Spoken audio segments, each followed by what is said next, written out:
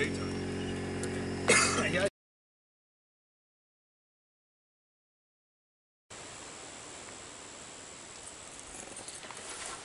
It was good here. Most of the time it passes on top, you know. Yeah. Yes. Yeah, it's so steep, so just scoot a little bit. The other clearing.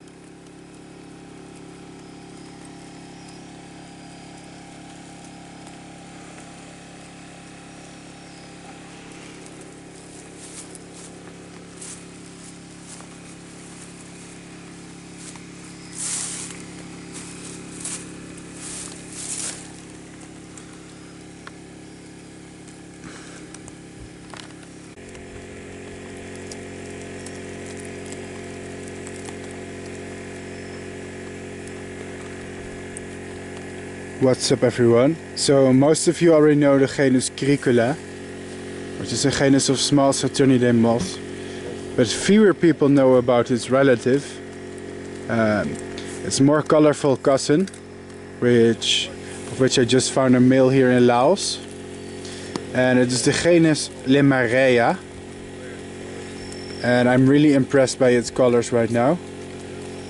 It's small but has a very detailed pattern. Unfortunately it's a male, so I will be doing no breeding with this species. Although there's still a small chance that a female will come to my trap, although females are more rare. Um, I'm in their habitat, so there's a chance it will happen. Either way, I'm happy to show this Saturniidae, which is not one I've seen before, showed before my YouTube channel.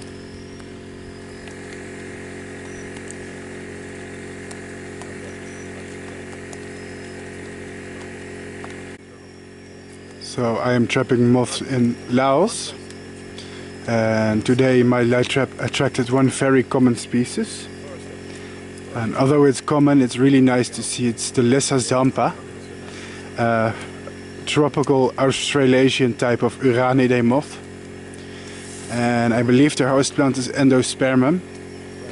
They have a really unique biology where they can have a synchronized peak flights and they can be scarce for many years um, up until all of them hatch from their cocoons at the same time, causing a huge peak in population and a synchronized flight.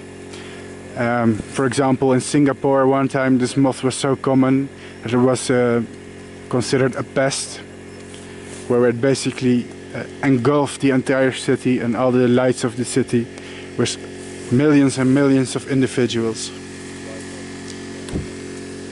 I do not know if the Lyssa zampa is breedable. I do not know if anyone has tried, but it could be very challenging and complicated. I will see uh, what I can do about trying to figure out the life cycle of this beautiful insect in captivity. Last but not least, here's one fun fact.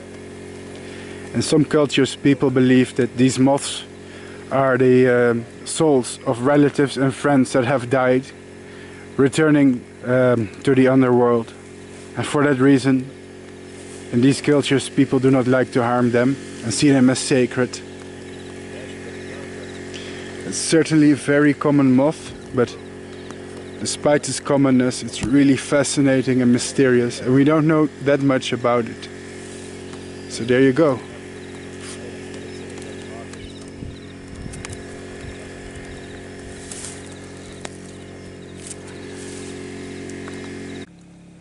So I'm moth trapping here in a higher elevation location. And very common is this Trabala species here. Collected one male and one female for this video, but in reality there are many of them. The male is green and the female is yellow. My YouTube channel I bred many Trabala before, mainly Trabala Vishnou, but I'm not sure if this is the same species.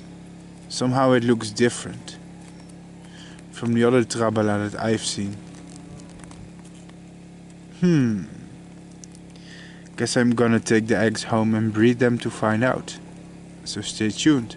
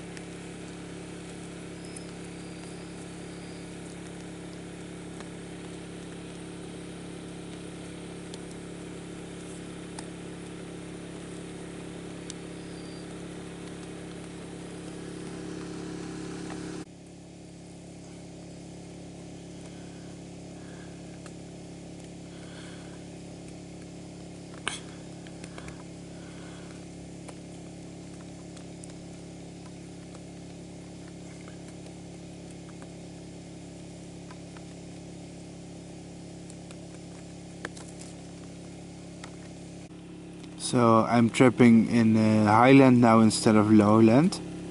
And I just caught this strange looking, oh god. This strange looking male of Cricula. Uh, I don't think it's Trifenestrata, I think it's the Cricula Andrei perhaps.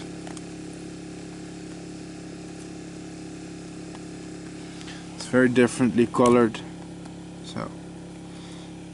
Think I just ruined the specimen, but uh, yeah, these guys need some research.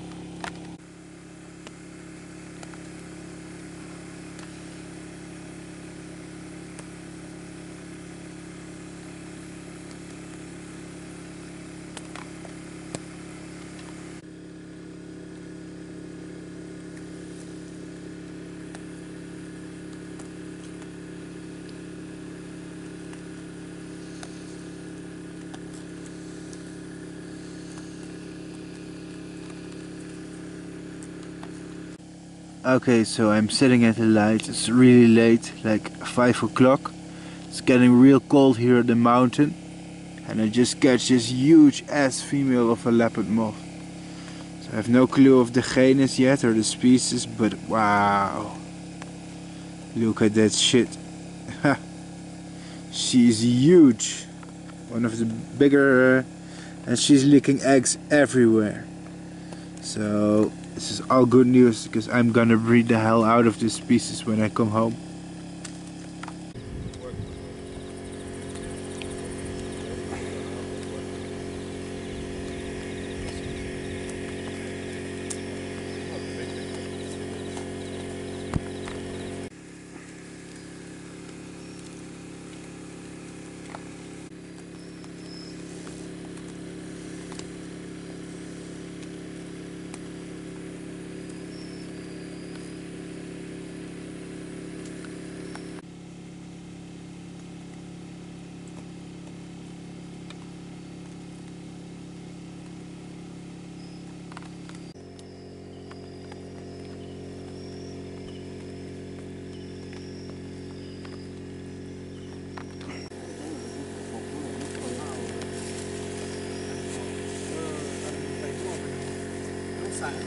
เป็ต่ข้างให้เราเล็กเล็กที่แบบปมไม้เราไม่ชัด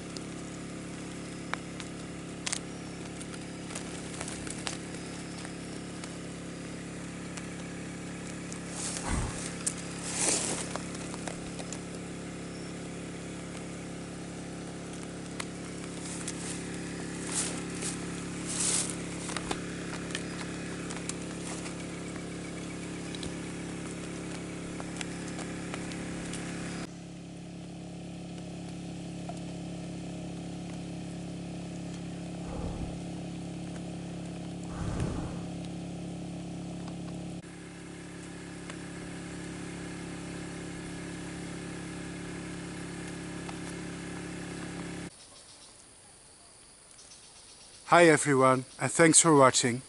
My name is Bart Coppens, a traveling entomologist from the Netherlands.